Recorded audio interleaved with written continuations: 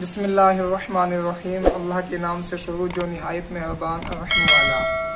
सच्चाई हमारा मालिक, सच्चाई हमारा खालिक, सिवाय उस वाहिद यकता के कोई इबादत के लायक नहीं। सच्चे हैं उसके प्यारे हबीब सल्लल्लाहु अलैहि वसल्लम। बरदरान मिलत इस्लामिया, हमारे काफ़ी दोस्त अहबाब पूछते हैं कि हसरत बीवी से हम हफ़्ते में कितनी दफ़ा हम लोग हम बिस्तरी कर सकते हैं? हफ़्ते में हम बिस्तरी करनी चाहिए? या रोज़ाना हम बिस्तरी करनी चाहिए, या महीने में हम बिस्तरी करनी चाहिए। मोहतरम सामरीन, देखिए, इस बात को आप हजरात जहन नशीन रखें।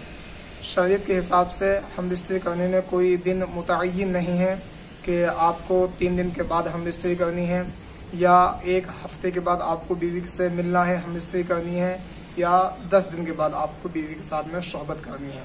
शरीर के हिसाब से कोई दिन मुतन नहीं है। लेकिन इस बात को आप ख़ास तौर पर जहन में रखें, ख्याल रखें इन चीज़ों का कि अगर आपके अंदर ताकत व कुत है तो आप चाहें तो आप रोज़ाना बीवी से हम बिस्तरी कर सकते हैं। आप चाहें तो दूसरे दिन बीवी से हम बिस्तरी कर सकते हैं। आप चाहें तो हफ़्ते में हम बिस्तरी कर सकते हैं। लेकिन अगर आपके अंदर इतनी ताकत व कुत है, मोहतरम सामीन एक हकीम से किसी साहिब ने पूछा कि बीवी से हम हफ़्ते में कितनी दफ़ा हम इस्त्री कर सकते हैं? तो उन हकीम जी ने जवाब दिया कि आप बीवी से साल में एक दफ़ा हम इस्त्री कीजिए। तो उस शख्स ने कहा कि ये तो बहुत लेट हो जाएगा, यानी ये तो बहुत टाइम हो जाएगा और इतने वक्त तक कोई भी बंदा नहीं रुक सकता। तो हकीम ने जवाब दिया तो फिर आप महीने में बीवी से मिलिए, यानी महीने में आप बीवी के साथ में शहबत कीजिए। अब उस शख्स ने कहा कि हसरत ये भी काफ़ी लेट हो जाएगा, यानी कि लोग रुक नहीं पाएँगे। तो हकीम ने जवाब दिया कि फिर आप हफ़्ते में बीवी से हम बिस्तर कीजिए। उसने कहा कि ये भी लेट हो जाएगा।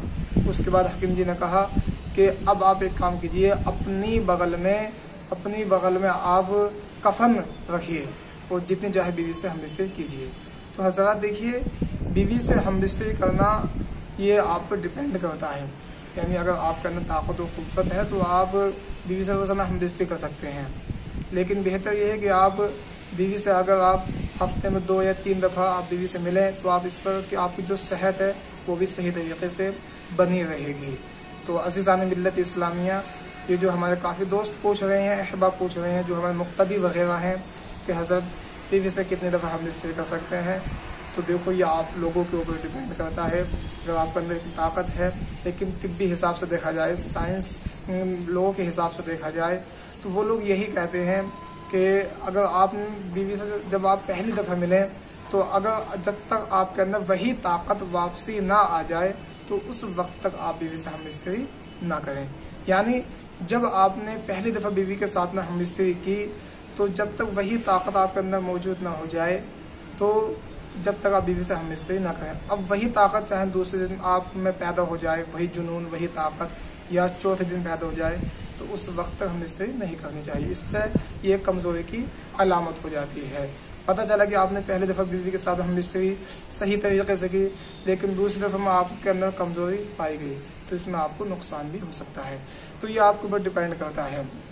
अल्लाह इज़्ज़त, हम सभी को सही सही दीन सीखने की तोफ़ी अता फ़रमाए शरीत मुस्तफ़ा पर चलने की तोफ़ी अता फ़रमाए। अल्लाम वरहमल वर्क